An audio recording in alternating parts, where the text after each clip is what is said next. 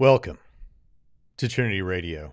I'm Braxton Hunter, and along with me today, as always, is Jonathan Pritchett. Jonathan. We are thrilled that you are here today on Back Trinity from Radio. outer space, apparently, with a new backdrop. Yeah, yeah. You're you're in the subway now, or something, or somebody's nice kitchen, or something, at the Trinity Radio Mansion. Just about. we have. the ridiculous size of your office. Well, that's one of the small perks, and there's Kevin O'Connor and MJ Jackson, and I so can't make that joke anymore because it looks like I'm going to be getting an equally ridiculous sized office here. not equally, but close. Oh, is it? Is it not quite as big? It's not quite as. Come on here. We've got to keep the power structure. in- Okay. That this is a complete joke. We, we it's not like that at all. Uh, we we do happen to have pretty have- nice size two- offices. yeah, it's there- one of the there's few two perks. rooms uh, in this building that are really large, and Braxton occupies one of them.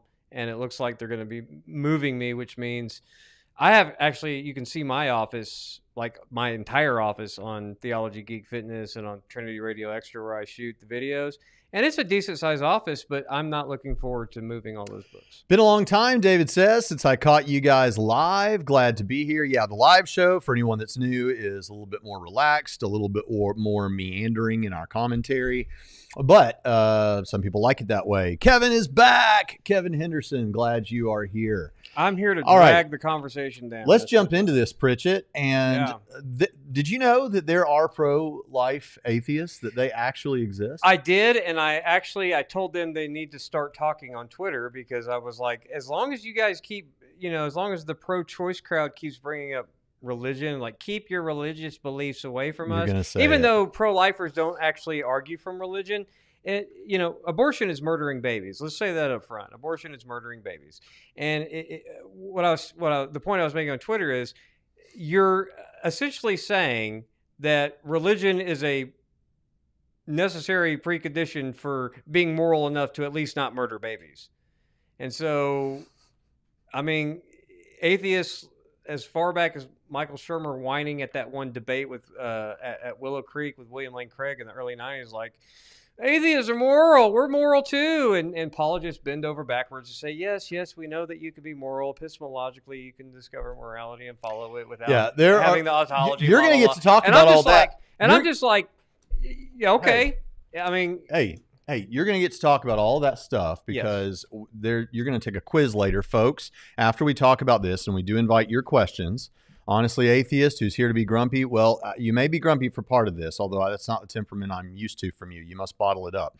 Don't do that. That's bad for you, or maybe not. I don't know. I'm not a psychologist. Don't listen to me. but, But, yeah, in any uh, case, yeah, we're going to take a quiz in a little while yes. to find out the religious typology of Dr. Jonathan Pritchett. And I'm happy that there's pro pro life atheists because they can say this is they can say what argue a pro life atheist can basically make the same exact arguments you and I make against abortion, and it, it's not a religious thing. Yeah. um, Well, and I am I am mostly against murdering babies. That's that's what I see.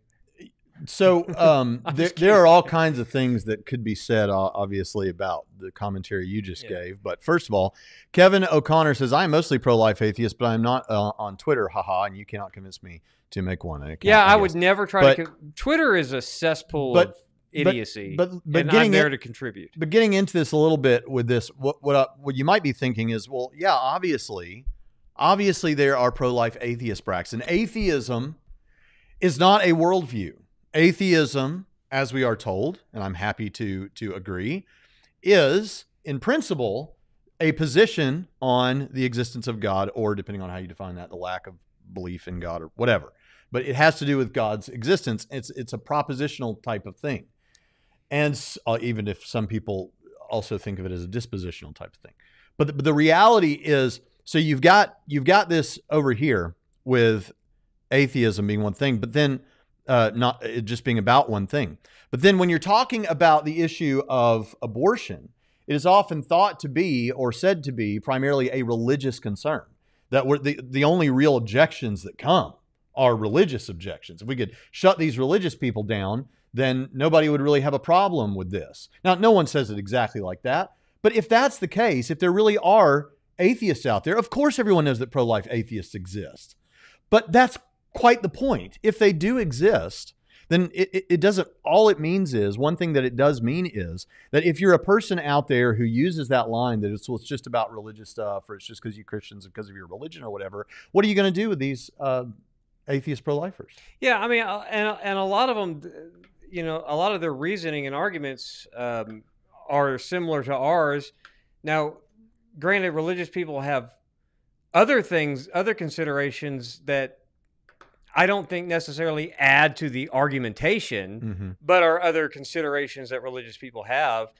But that's irrelevant to the arguments that people who are against abortion make in general Yeah. and I, I see a lot of i understand like the the mostly pro-life atheists are like you know at early stages i, I get wh- wh- where they can on that but i mean a lot of people have seen that it went from safe legal and rare to shout your abortion and i wish i and that one unfunny comedian lady saying i wish i would have had an abortion so that I, you know i mean this stuff's ridiculous and now you have people on the floor of the senate saying they can't outright condemn infanticide like after it's born can you well i just reject that and say that abortion is hell i mean these people are insane Or instead, rather say, um, well, that that's not what's happening. but it is happening Well, okay. Well, whether or not it's actually happening um, is why can't you denounce it? Right. Why can't you but but it is happening and they know it's happening that's why Yeah. they don't want to i mean they're just lying at that point because if, if you cite one instance in dc well then it is happening I don't know that you know and anyone the governor trying. the I- previous governor from virginia was like well i mean if the baby's delivered we'll we'll put it on a table and make it comfortable and then we'll have a conversation and make a decision what we do and you, people are like okay this is a little bit much from the safe legal and rare Mhm. thing Mhm. You know? And then of course anytime i get blowback on twitter about oh you're just going to force rape victims to carry and i always ask them so you're for a nationwide Wait a ban minute. on abortion except for rape victims? Well no. Okay then. Uh, you know rape victims are not your puppets. They are not your argumentative playthings. They are not your rhetorical toys uh, to justify all the other abortions, and rape victims deserve better than that. And that is actual hatred of rape victims to use them as some sort of way that you can get all what- this other stuff, and it's disgusting. Pritchett, you, hyperbolic here.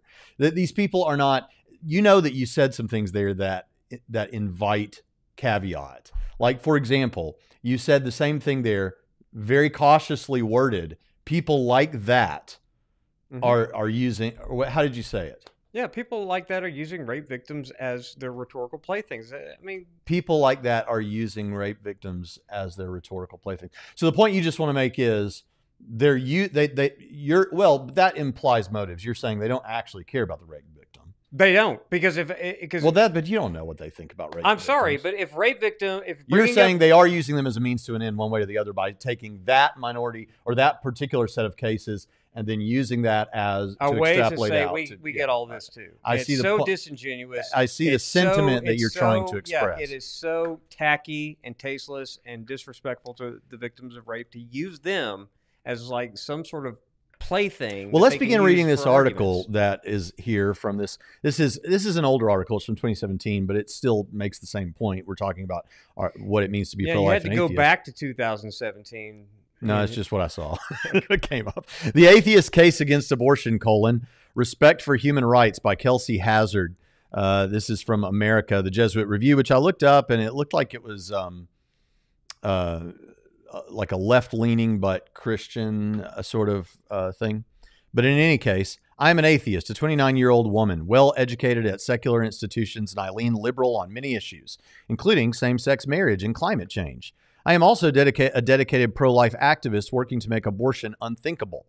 The abortion industry would have you believe that people like me do not exist. They would have you believe that the pro life movement is almost exclusively old white men, with a few pearl clutching church ladies thrown in. This characterization is insulting to both young and old. The older pro life leaders of today are the pioneering young adult activists of the 1970s who courageously dissented from Roe v. Wade, and they have recruited new generations of pro lifers to follow in their footsteps. Millennials in the movement call ourselves the pro life generation. Thoughts so far, Pritchett? None. Keep going. These are there are important differences between the millennial generation and those that came before. One of the biggest is religion. The well-reported decline in church attendance is driven largely by young adults. Over a third of millennials tell pollsters they have no religious affiliation. Compare the 23% for Generation X and 17% for baby boomers. And even among millennials, we have maintained a religious affiliation. Many favor same sex marriage and show less appetite for the culture war than their elders do. Oh, you can tell this is 2017 because their appetite has significantly increased since 2017. For that's that's hogwash. Yet now. this more this more secular generation still shows up to save preborn children and their mothers from the tragedy of abortion. This puzzles some abortion supporters who had assumed they would benefit from demographic changes. The key to understanding this discrepancy is to realize that it is not a discrepancy at all. We see abortion not as a cultural war issue or um, or as a religious issue, but as a human rights issue. Most pro choice people, well, that's part of it. I'll just read it when I get there. It is not enough to understand uh, Humanae Vitae. Indeed, lecturing an atheist on the finer points of Catholic dogma is surely counterproductive. To work with pro life young people and to change the minds of pro choice millennials, you must be able to articulate the human rights case against abortion. The pro life pioneer, Dr. Mildred Jefferson, said it best I am not willing to stand aside and allow this concept of expendable human lives to turn this great land of ours into just another exclusive reservation where only the perfect, the privileged, and the planned have the right to live. That's a sentiment that anyone from any religious or non religious background can get behind. Comments? Yes. Yeah, I mean, I, I 100% agree.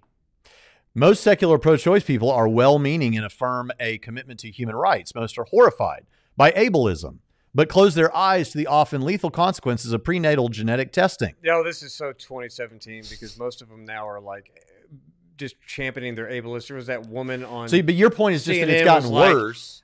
you don't understand. I have I have autistic people in my family and disabled people, and just it'd be better if they didn't live. That's basically what she was saying. And then she tried to walk it back after everyone heard exactly what she said and roasted her for it because it's uh, obscene what these people are saying these days. Um, uh, let's see. Pointing out these contradictions is a delicate business. Many young pro choicers have been exposed to years of ad hominem propaganda. They have been taught that pro lifers are hypocrites who do not care about children after they are born.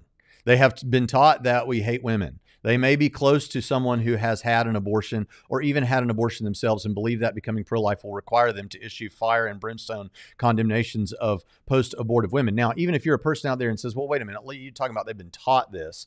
They have absorbed this from the culture. The culture is teaching things, and this is very much part of the culture. You find this stuff. I mean, if you are on Twitter, you can see Yeah, this I mean, just just that whole line that they don't care uh, about after they're after born. they're born. I mean, like Mhm. who does the most care? And now you have Elizabeth Warren out there attacking pregnancy crisis centers, like like on the same side as those who've been vandalizing. Like it's somehow bad to, to help women along, and and it just this stuff is just you can tell this is 2017. But And this But, is uh, anecdotal, but I've but- known but multiple here's the people who I run like those crisis pregnancy centers. And in fact, I've spoken at pro life, like right to life events.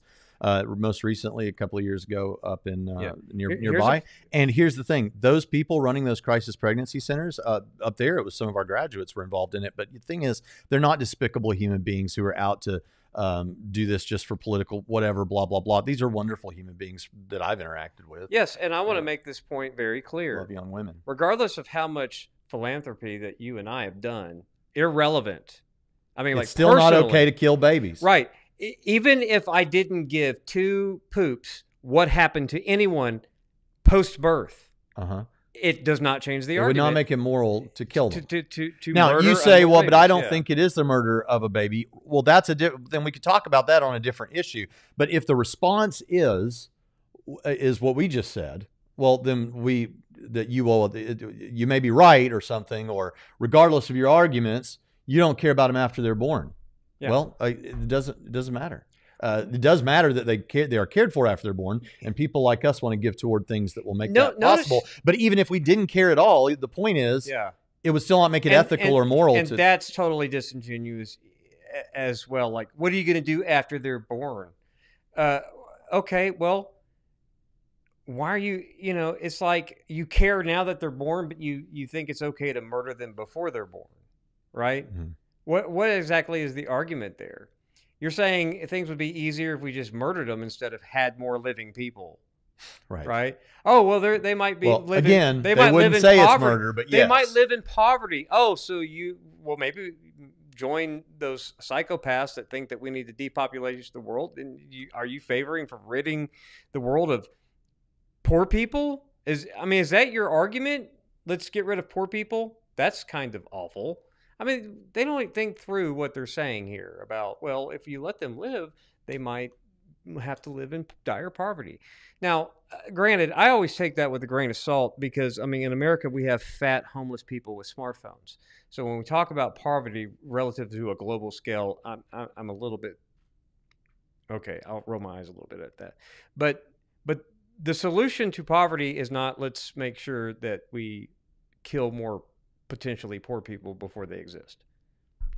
The best antidote to these fears is not argument but action. Examine your own life and ensure that your priorities reflect concerns for human life at all its stages. Befriend pro-choice people and let them see what brings pro-life what being pro-life really means on the ground. Do not expect they have learned this from the mainstream media. Now that's true. They won't have learned. They won't necessarily have learned it from the mainstream media. And the thing is, I've actually known. I can think of a couple that we were friends with in Nashville, Tennessee, years ago. And just from having normal conversations, just here and there, Yeah. uh, she actually changed her mind about some of these things. It's because she saw that I wasn't like I wasn't some guy with a bullhorn like I am now. it wasn't like that. I was just somebody she knew, right? Uh, so, all right. When the time for discussing the issue comes, be gentle and ask questions. Pritchett, the Socratic method, allowing people to discover uh, internal contradictions for themselves, usually works best. For more on this technique, I highly recommend the equal rights. I can't. I don't know what that is. Not. I don't know what that is. Is that a thing? I don't know. Do you know what that is? No. We're not going to promote it. We don't know what it is. But if they're doing great things, well, I mean, go check it out. Yeah, I mean, go check it out. See what it is. Is when the article survey- linked in the description? Yeah. Then, then When, when we survey the lives destroyed by abortion over the past five decades, it is easy to become overwhelmed and discouraged, but we are making real progress. This is an incredible, exciting time to be pro life. If we work together, secular and religious, young and old, from every race and gender, I firmly believe we can end abortion in my lifetime. yes. Well, And praise the Lord if that happens. We Um, have a lot of work to do because now it's back in the state's hands. So Okay, let's take a look at the questions or the comments before we go on to our next activity. And let's see what has been being said. You know, it's interesting that I mean, like, take there, there is a Christian humanist tradition too that obviously predated, you know, the the proliferation of of atheism by centuries, right? you could say, I mean, even in the, I mean, people can say what they want even about uh, Calvin and Geneva and Servetus and all that. Calvin was uh, a humanist and he was a Christian humanist as well. If you read all of Calvin, so at least at least in in his thinking. So I mean, you know, there, there's a lot of a lot of humanism in the Christian tradition, you know, as well. You know, humanism say we're pro-human, right? Mhm. So, so it's it's not surprising that humanists would discover some of the same types of things, even from a secular perspective, Sure. uh, that would that would align them with killing humans is bad, right? And so coming to that conclusion, you know, there, there's a lot of the um, what was it? The Rational Response Squad. Remember them from the early Barely. 2000s? Barely. Yeah, I mean they they kind of fizzled out. Well, I mean they were also running around. You know, they were an atheist club, and they were running around promoting like antinatalism and those all all that stuff. You know, um, and it seems like the more rational, to borrow their word, atheists have kind of moved away from this. Just no, this just not the right way to go about all of these things. So I Yeah. I, I happen to have no problems aligning myself with pro-life atheists who want to work for a common goal. Gregory Fisher shows up. We love you, Gregory. And thank you for that $10 super chat. And he, he's wanting to make a statement that Uber Scheiser will definitely see, which says Roe v. Wade wasn't a decision until 1972. After that, you see evangelicals moving to Yeah, they were having a discussion in the chat, Christianity Today, and reporting uh, like Carl F. Henry and some other people that that that you know, you, like we talked about in a previous show about even Norman Geisler changed his entire section on that from his first edition of Christian Ethics to the second edition because he took more of a pro-choice stance, and then Mhm. you know, I mean that that what this sh- should tell us is not that you know oh, Christians used to be one way and then they politicized it and became another. No, it's that people can change their minds, Mhm. right? And the fact that you had pro choice Christians and still do in some cases uh, for reasons that escape me, uh, but the- you would have like a, a secular atheist who may have been pro choice at one point Mhm. but been persuaded, uh, maybe by another secular atheist, not someone who's a Christian or whatever, Mhm. but or Mhm. came to just realize that wait, these people Yeah, they change their mind. Yeah, people change their mind. Yeah. So so Christianity today, nobody heralds them as that is the Christian perspective. Right, for- right. Yeah.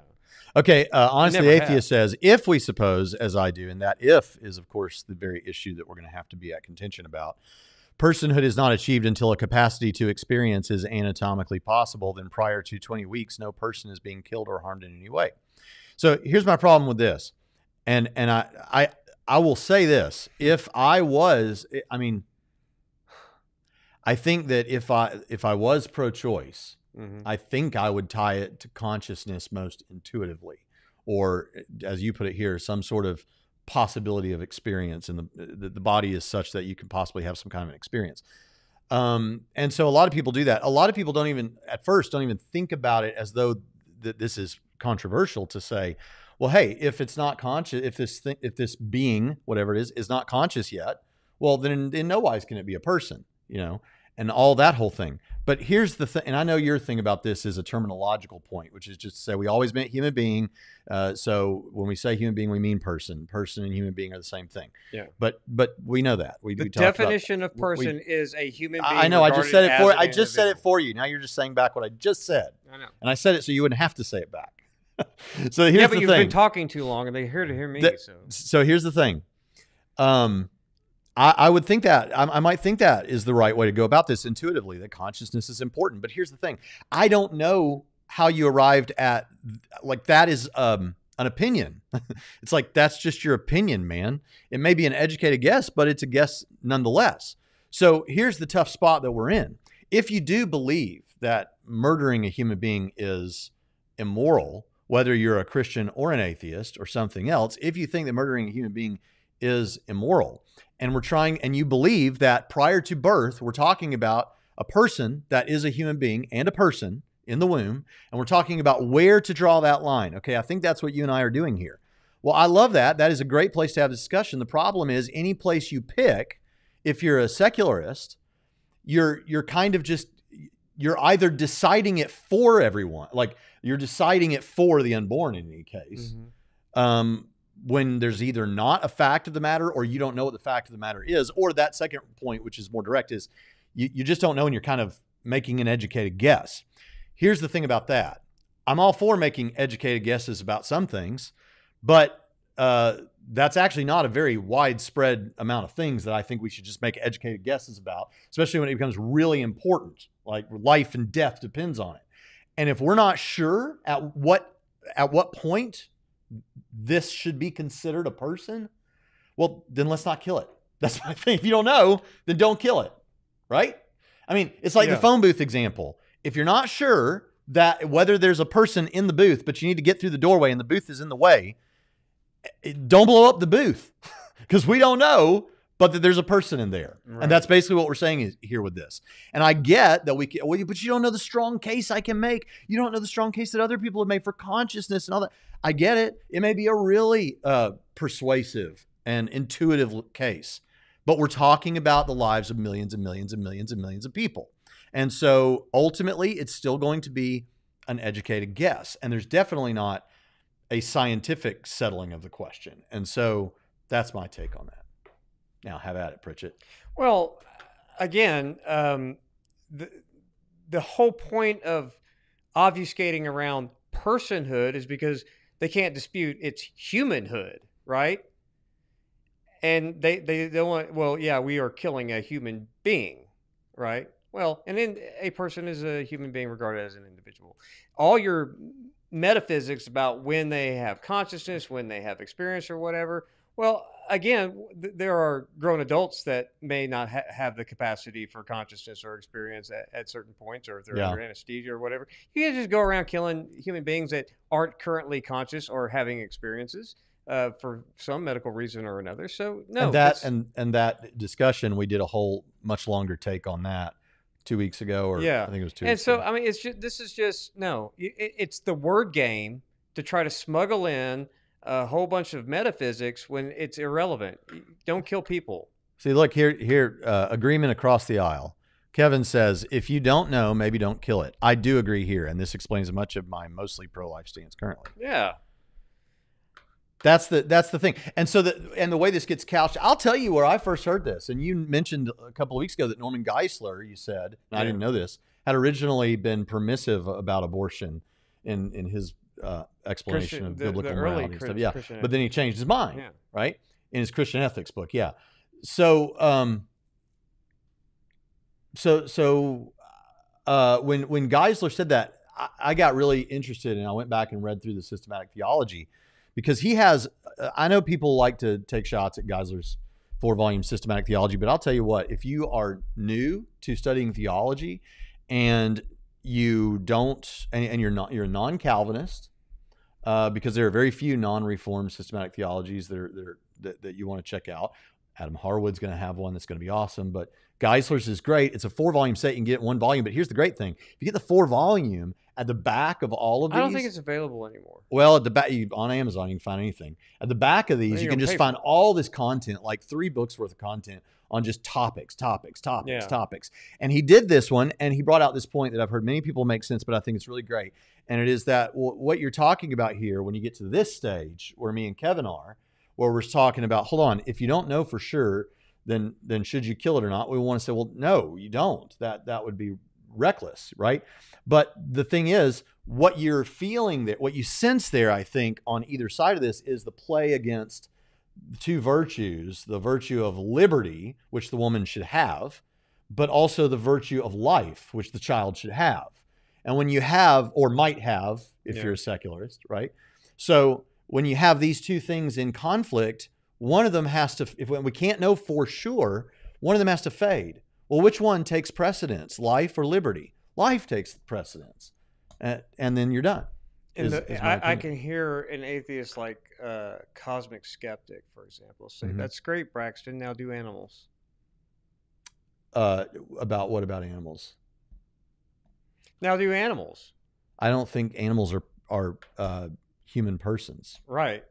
So But it's just a discussion about why, and I've got all kinds of reasons why. Why you eat chicken? Hmm. Well, that would get into my theological perspectives. Yeah. So, would a consistent pro-life atheist be someone who was vegan? You think? I don't know. They may have other ways of trying. Like the Well, obviously, thing? you and I are going to think about what morality is like for an atheist very differently, right, than they think about Yeah. themselves. But if I was an atheist and I thought about it the way I think that somebody like Matt Dillahunty or somebody does, who says, well, there is, we can make up a subjective goal, but then there's an objective, better or worse way to get to that goal. And the goal is human flourishing. Okay, well, then I could draw a serious distinction between animals and humans. yeah, human flourishing. So I'm going to have steak because it Mhm. helps me flourish and make me happy. Mhm. But I think you would still need to build into your morality, which I, I just don't think. I just think this is a house built on sand. yeah. But you're good. But you would need to build into your morality. Uh, some you wouldn't want people feeling like it's okay just to go kill. So you just be animals. uh, admittedly speciesist in that sense. if that's the goal, that uh, human flourishing is your overall stated goal. Yeah. Then yeah, a little bit. Yeah. Um. Okay. You asked me to explain the consistency of my atheism, Jonathan. when I'm not an atheist. Current research indicates that self aware may not occur for up to two years post birth. Therefore, the person argument would justify infanticide. Thank you for showing up logical, plausible, probable. And I like that uh, profile pic. Uh, haven't seen you in a while, and I, I'm Yeah. glad to see you're supporting DC and a fantastic DC character there in the Flash, Flash. and showing an He affinity was- for brick walls. The Flash was always my favorite from the, you know, my childhood, uh, and then my teenage years became Superman. But I always was was was partial to the Flash because I, I I thought ultimately, the Flash was the most dangerous out of all of them, out of all superheroes. Yeah, see, Kevin says he admits to being speciesist. Yeah. I mean, if you eat cheeseburgers, you have to, right? So, I mean, I, I eat cheeseburgers. I'm Is this true, Pritchett? You're into this stuff a lot, like the legal side and the political stuff. Is this true that? A, uh, I mean, I'm not trying to question you, Darren, but I'm I'm just seeing it online, and I'd like to know if Pritchett knows. actually, yes. That, that a boyfriend slipping unbeknownst abortion pills to pregnant girlfriend is prosecuted under murder. Yes. Now there has been some debate, and in fact, a lot of the crazy pro-choice activists recognizing the problems with like I remember the Scott Peterson trial. Remember that where Scott Peterson murdered his wife who was pregnant? And I remember around that time there was a discussion because that case was being discussed uh, and he was being prosecuted for double murder and they were like, well, you know, some of the pro-choice people were saying that they don't think that that should necessarily be the case because it implicitly acknowledges that a life was taken, you know, and uh, they didn't want to do that, or that a person was taken. Uh, Faithiest Atheist, thank you for that super chat. I really do appreciate our friendship online.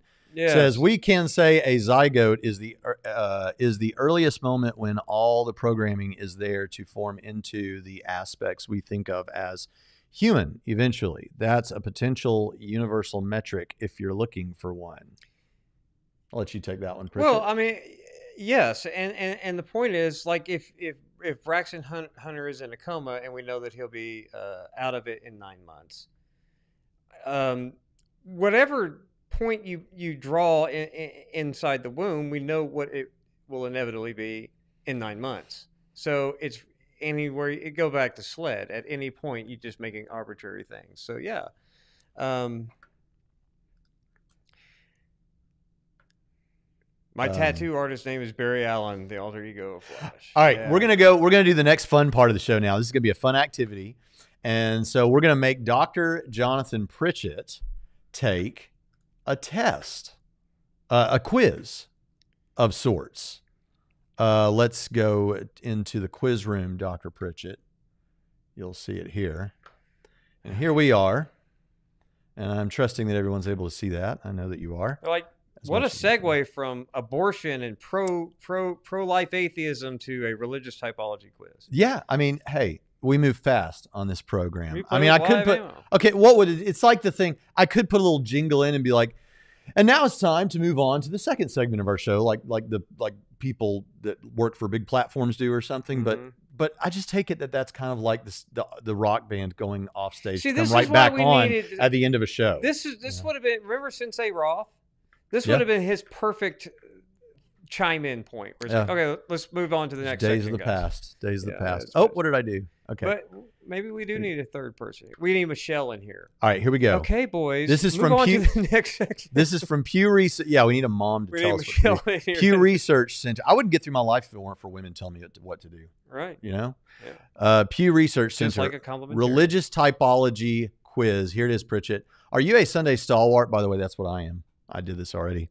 Solidly secular or somewhere in between. Take our quiz to find out which one of the religious typology groups is your best match and see how you compare with our nationally representative survey of more than 4,000 U.S. adults. You may find some of these questions are difficult to answer, Pritchett. For example, you may see yourself in more than one category or feel that none quite describes you. I have great confidence about that. That's okay.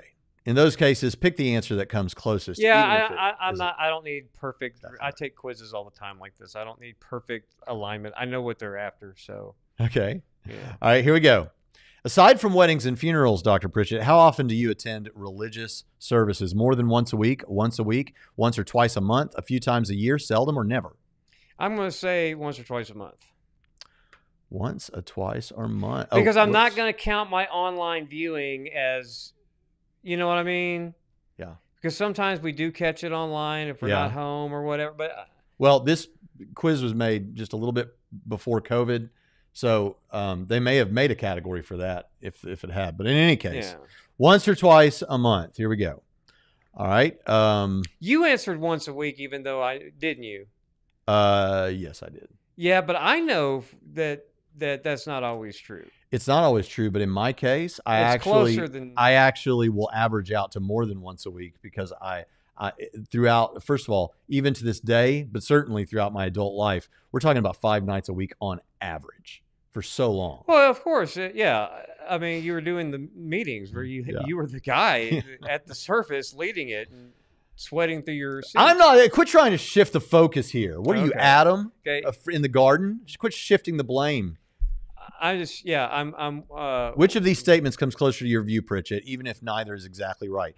It is not necessary to believe in God in order to be moral and have good values, or it is necessary to believe in God in order to be moral and have good values. I know you answered it is not necessary. I did. right, I did. because that's the apologist answer. well, it's the correct answer. I'm answering uh, the other way. It is necessary to believe oh in God. boy, you're gonna you're gonna be. No, I said that at the beginning. They're gonna have to make a new category Right. for how. Oh no, because you don't go to church every week, so that knocks that I mean, out. I, I, yes and no. I mean, but I'm gonna, I, I I'm there in spirit Do- do when you- I'm watching the live stream. I would have put every week for you with the live stream if you really do watch it every week. I do. Uh, but in any case, uh, we're ready to move with this. It, you're saying it is necessary to believe in God in order to be moral and have good values. My my mind tells me no. Atheists heart- cannot help people across the street, My ladies. heart, uh, my heart tells me to trigger them by saying no. I, I don't. So what you're telling me is you don't actually believe the answer you're giving. You just want to do it for shock value. No, I I- okay. Here's my justification. Okay. I- there's a part of me that delights in the shock value. Yeah. But look, okay, it's not that they can't do trivially good things like like help a little old lady. Well, when you say trivially, Yeah. I think you mean in light of eternity, right? right? But it, but if we're just looking at a Christian cradle to grave versus an atheist cradle to grave, don't you th- don't don't you know? I should say. Oh, there's horrible Christians and there's very moral atheists, Uh, yeah. Well, that's what the question says. right? But but there's it's still I think on the whole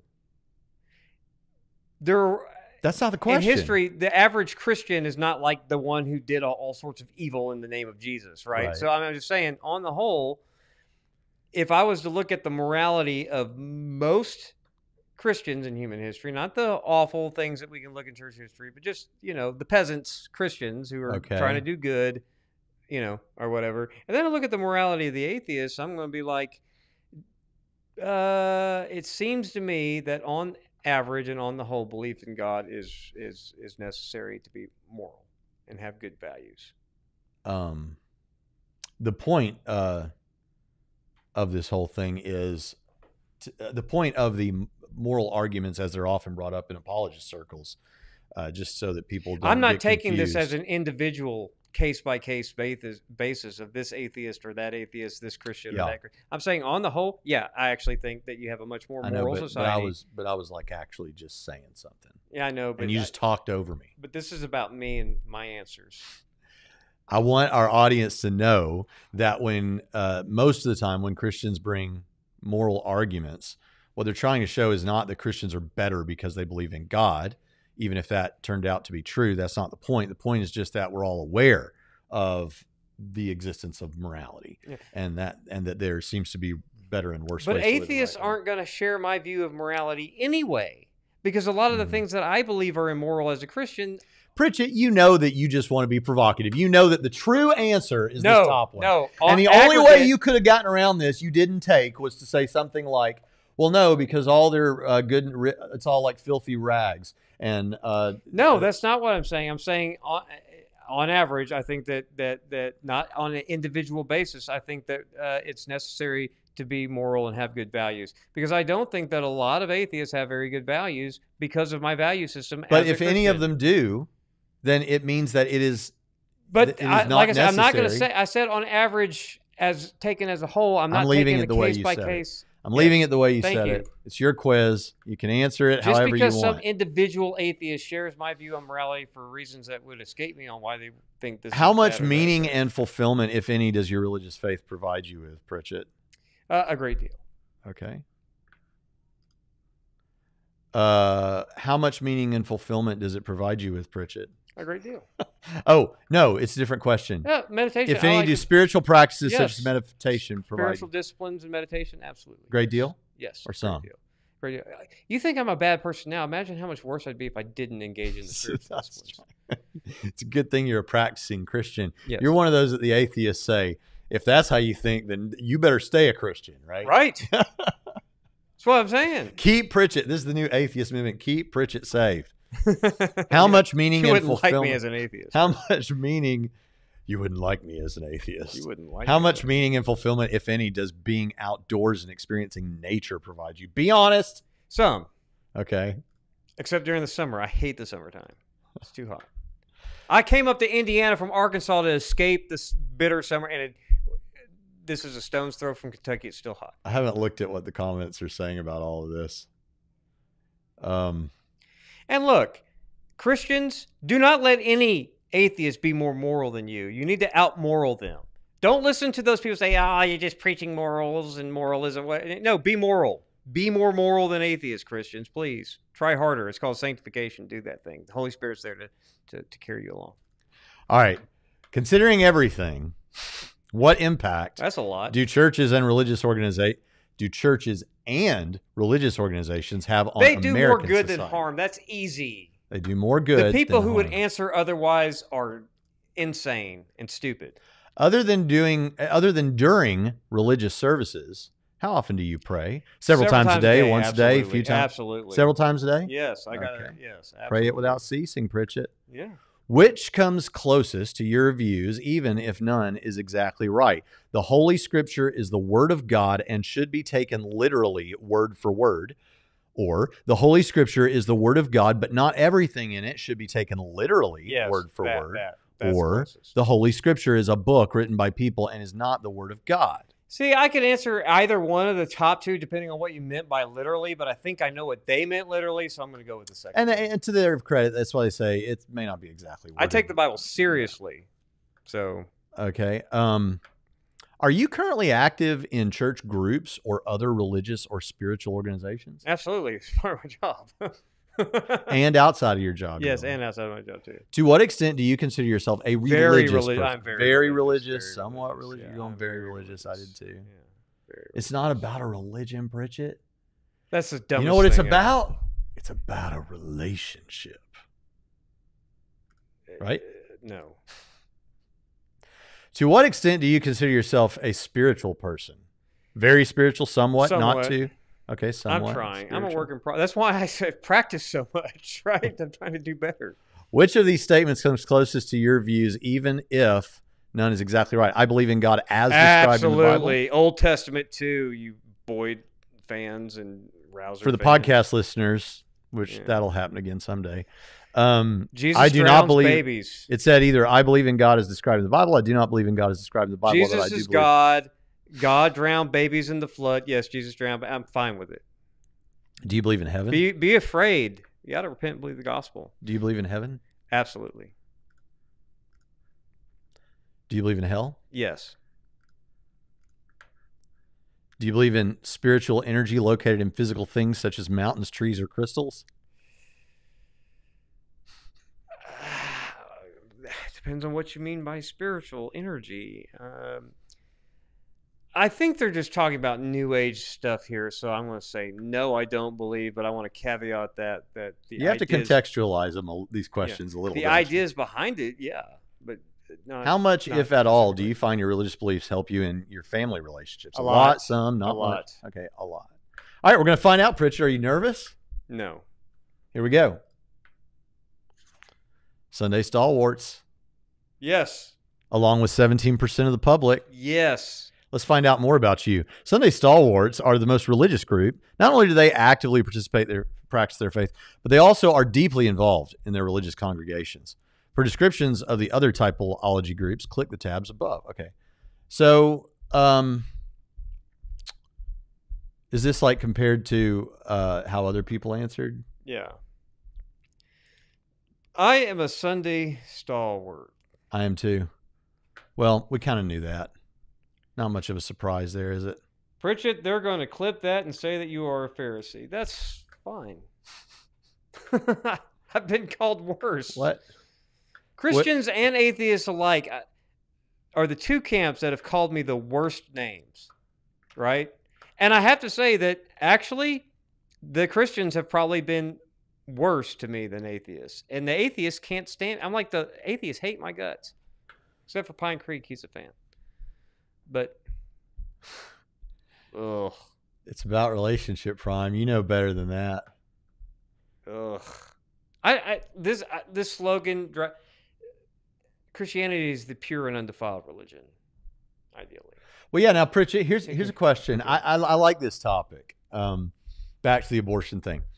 Honestly, atheist says, I think the common intuition that sentient aliens would be morally considerable as persons defeats Pritchett's human equals person argument pretty clear. We didn't have to go there, honestly, because in the last time we discussed this, I said to Pritchett, you can't think of any uh, persons that are not humans. And of course, as Christians, we yes, do. we can.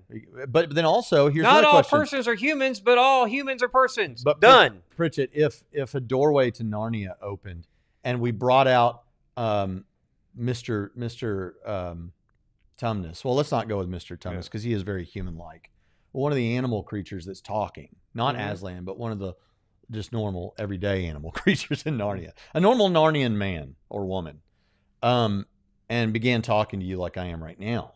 Would you Mhm. not think you should extend um, all the same rights and privileges to that creature over and above a normal world of man, world of Adam, uh, beaver or whatever? Sure.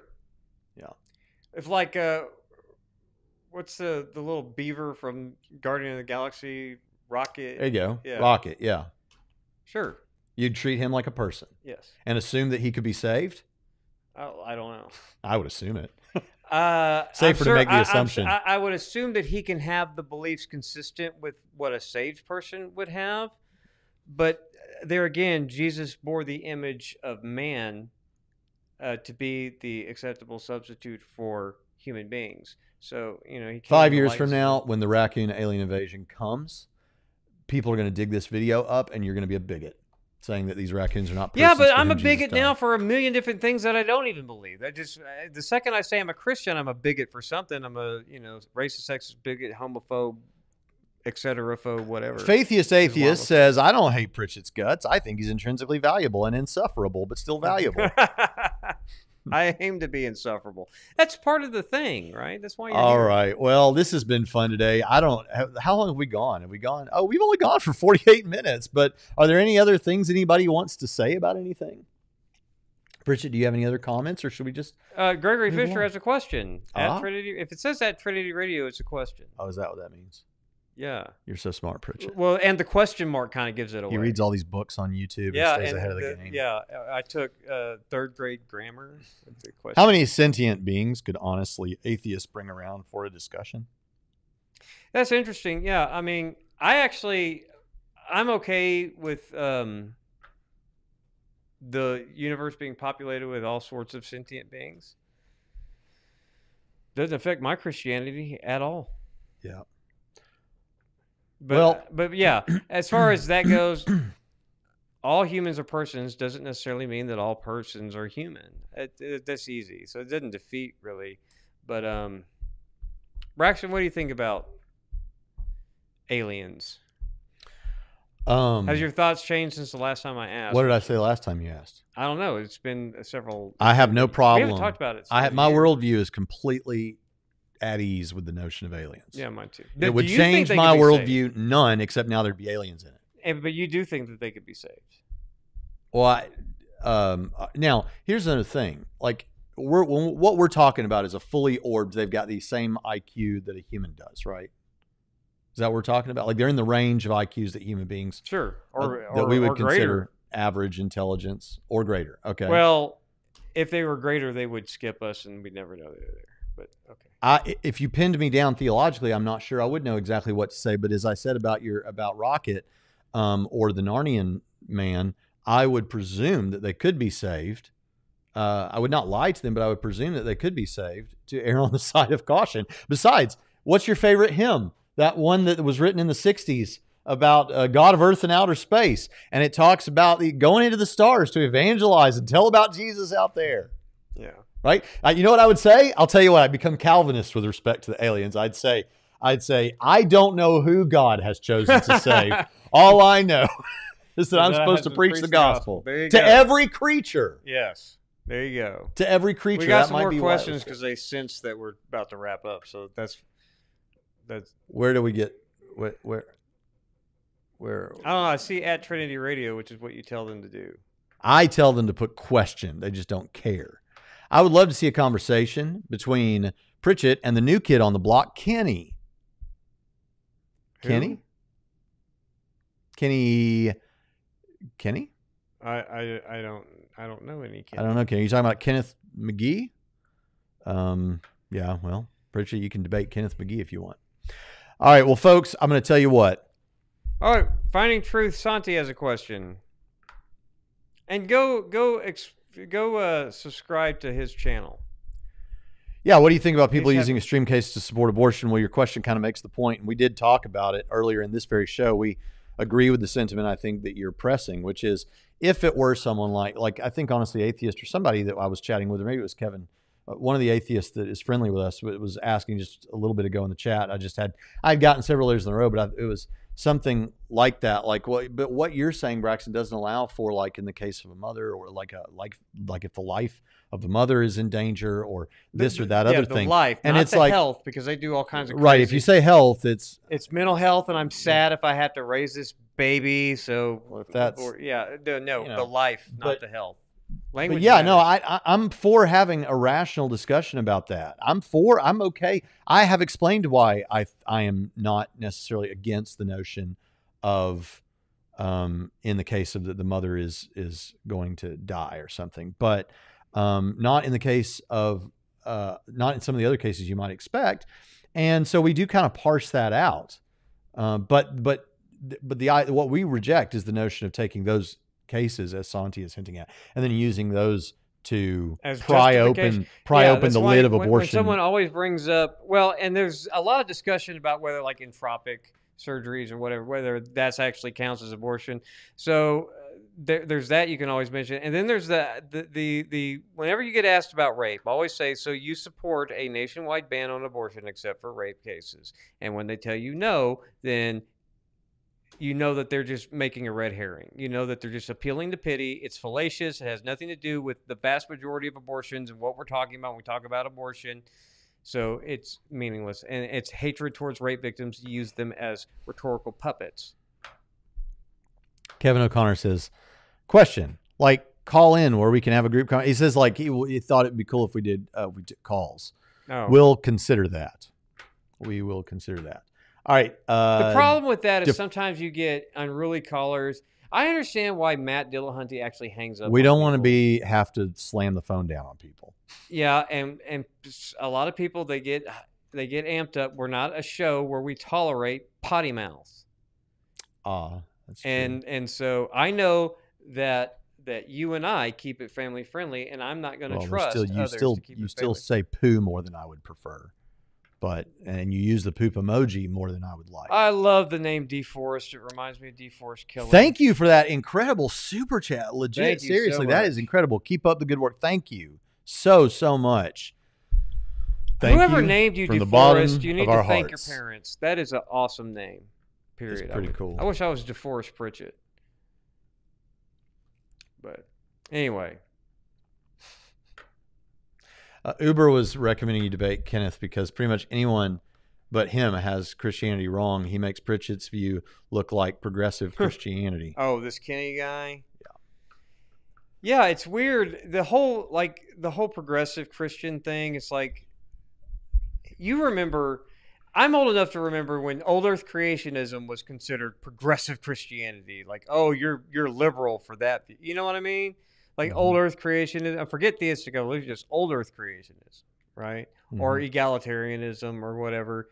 Um, so you know, it's just one of those things that that it's weird the things that we fight about within Christianity and what keeps getting, you know. But but someone would say like this Kenny fellow or like the KJV fundamentalist only people, right? Mhm. They would say that yep, the second you start allowing in the old earth creation, it's like Braxton or whatever, it's a slippery slope all the way to, you know, we're going to uh, ordain LGBTQ people, right? And they will, they will, and Ken Ham even will say it's because of people like Braxton. By compromising on this one thing, this is why we have all the rest of it. And it's just a slippery slope. That's why you should. That's why you should take the time. And and the KJV onlyists in the future are going to look back and they're going to say, yeah, the the the the ordaining uh, lesbian Episcopalians, those are the conservatives compared to where evangelicals are now. You need to stay with the the, key, the KJV only fundamentalists who have never changed. Dispensational KJV only, and they, that's their thing, and they're going to stick to it no matter what, and they're never going to compromise. And I have to say, there's something that they're kind of right. I know that you don't want to hear it. No one wants to hear it. I don't even want to hear it. But at the same time, I can't argue that yeah, they're still where they were from the 80s, right? The fundamentalist crowd. Whereas the rest of evangelicalism is all over the place on their like uh, uh, social positions on various issues and, and theological positions on various issues. They're the same. Young Earth creationists, dispensationalists, all that haven't changed since the 80s. You have. This is why you need to um, listen to my other video from this week, in which I uh, you just go check it out. You'll be shocked, uh, surprised. Do, do you Tim talk the about Ancient says. or I mentioned AIG specifically. talk about farming. no, I fitness? mentioned our answers in Then I'm not. Genesis. It's not. Tim the Ancient, super chat, ten dollars. Thank you so much. I was you. just thinking this channel has such a good vibe to it. Never change. So glad you guys are around. Well, we don't want you to change, um, except in the areas where you're uh, not living up to your Christian calling. But we don't know what those are, and we're glad you're here. Yeah. And we don't want you to change in the ways that we know you, because those are awesome things about you. Yeah. All right. Let's uh let's see. I wait, I had an honest there's an, I love hypotheticals, Pritchett. I love it Mhm. when it comes to abortion. Uh suppose a miraculous spontaneous conception happens. Anakin After Skywalker. After the test midichlorians got together and Mhm. is that A- still canon or have they changed that? No, that's canon. Okay. The movies are canon. Well, they make so many books, But it's not that the midi-chlorians are necessarily causing the force, it's that they're attracted to the force. and they manip- keeping the and mystery. Palpatine manipulated them to impregnate Shmi, right? I suppose that's true. I don't, I don't know. I, I I don't know. I thought he was Okay. like a So we have an Anakin Skywalker situation. This Okay, but no force capabilities and not bring brought to ba- bring balance to anything that we know of. After testing, doctors shared that this fetus has genetic abnormalities that make it distinctly non-human. Is abortion okay? So now I don't know what you mean by genetic abnormalities that make it distinctly non-human. So there's a spontaneous thing, and it's more Yoda than Braxton. Well, wait a minute. Did it was it born of a woman Spontaneous. or a was it born of a This is not birthing hard. capable person? This is not hard. It's it's it, do it. It's the, it's a Yoda like creature. It's not. No, it's it not is hard. I need to know. Is it born of a woman? Yes. Well, then it's human. The DNA. The What is different about it? It- Like, in order for that to even be possible, right? so no aliens There- exist. They're all humans, right? No. I oh you're so you're like we could say so like if an if an if they if if oh, an alien seed was implanted into a human egg, I have no idea whether that. I don't think we should abort that. No, if it's if it's if it's uh, this is weird. Yeah, I don't know what's. I thought first you just meant like there was like in a in a lab or something. There's just this fertilized egg happens, and then what was well it depends on what it is. I don't know that that's it's not a human. Oh well, then what is it? What is it that makes it not human? Yeah, I mean, they, they, well, it's distinctly not like it'd be. Like what does that mean? Like a fish was born there, or something that looks more or less fish-like? well, he didn't. I don't kill it. You can kill it. I mean, not for no reason. I'm just saying it's different. If like you're, I don't even know if you're talking. I think he's presuming that it's it, it would be a sentient creature, just not human. Yeah. Okay. Uh, my answer is no. No. What? No abortion. Yeah, me too. But see, I think what he could be trying to say is You don't right, murder, murder but Baby Yoda. like Narnia man. Like you bring the Narnia man in, okay, you wouldn't kill him. You you wouldn't think you could kill him, right? right, Because he's sentient and conscious. And he'd Unless say, "Isn't that the point? Isn't that the thing right now? right. The thing that they have that makes you not want to kill them and think that they're persons is consciousness. Yeah. And so I think it's a way of trying to drive out or or what do you call it? Bring out that intuition that it looks like the thing in both cases that's telling you this is a person Well, sentient. is the sentience. Yeah. So then if it's not yet sentient, can you kill it? Is it the type of thing that would be? Yes. Right. No. Okay. The same thing is if Braxton Hunter's asleep and he's not having dreams that, that he is experiencing. And yeah, I can't kill Braxton either. Braxton would love it no matter what it is. I love comments like this that just further detail our our personalities. Um, The channel that loves aliens, right? Is that our new thing? would Michael Heiser be okay with Nephilim abortions? Uh, okay, th- That's we're, we're, we're kind of trailing off here, folks. This Yeah. has been a lot of fun. We did make it to the hour mark. It's always a blast hanging out with you, Yeah. our atheist and uh, this Christian was a very Bible friends. in the last 10 minutes. Yeah, it got a little weird. I, I, think that honestly, atheist was asking something much more. Oh, here we go. Did you read this already? We could we could suppose maybe it's an alien, or a Neanderthal, or some non-human animal. I think the interesting part is what qualities we consider relevant. Yeah. Okay. So we did kind of talk about Yeah. that. Yeah. That's okay. what I thought he meant. See, man, Yeah. I, I, I understand. Today, I got to tell you something. I'm just going to say it. I'm just. Gonna I know it. what you were trying to because nobody's going to get to this point. Nobody, nobody's going to watch this far except the folks that are here right now. That's probably not true, but listen to me. I have been experiencing extreme, um, not extreme. I've been experiencing what to me a pansy like me, someone who's been a pansy for the last several years when it comes to eating and weight loss. Um, I, I have been experiencing extreme Others would consider that as well. I, I've been experiencing some, some extreme hunger, not because I'm anorexic or something like that, but just because I've been limiting my food at all and, doing I've good. Forgotten what that. First, I, start with the good news. I've lost 30 pounds. That's the good news. and um, uh, that's good, but it has meant that today this is the first Trinity Way Radio we've done where I've noticed this, but it's it's like I think the lack of calories is making me not as clear uh, as I typically am. So I'll try to figure that out, folks. But uh, yeah, it's just diet and exercise. There's no tricks. There's no gimmicks. It's just I get up and walk every morning like six miles. Yeah, and move and don't eat as much. It's Yeah. simple. That's how you get in shape. Yep. That's it. But if you need help, you can go join Theology Geek Fitness, where that man over there, who is a beast, will show you how to go from being uh, what he was to what he is now. Yeah. And trust me, you'd be happier with what it is now. You know, with that background, you look like you're um, at the red carpet for a Nickelodeon event or something. That's fine. Works for me. You made it. All right. Uh, oh my gosh.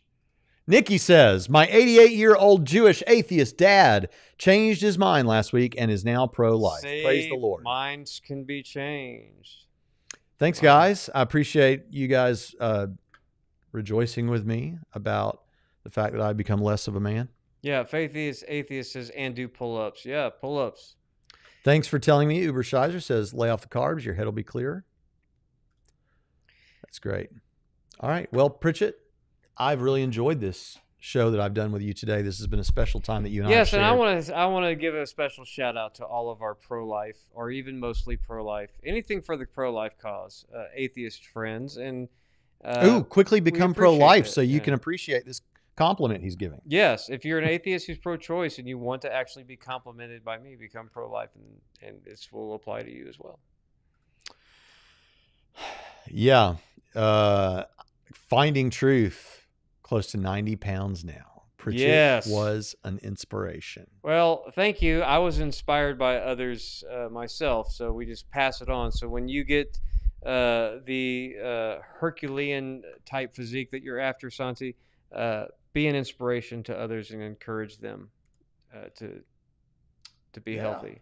We want All people. We not only want babies to be born, but we want people to be healthy and live longer, and you know, uh, and diet and exercise. And by diet, I don't mean go on a diet. I mean eat healthy. We live in a world of, especially in the United States, of horrible, horrible food. And the myth is it's expensive to eat healthy. No, it's not. I prep my food. Even with inflation, my average meal cost me one dollar and fifty-five cents. It's up from one thirty-three. So uh, figure that out. But yeah, um, it's still a dollar fifty-five, and I have a protein. I have uh, a starch like a sweet potato or quinoa or rice, and then I have a green vegetable in, in my meals. It's not expensive. Just eat healthy. And we'll see you next time on Trinity Radio. I love how your head takes up less space. You can tell you've lost weight in your face too.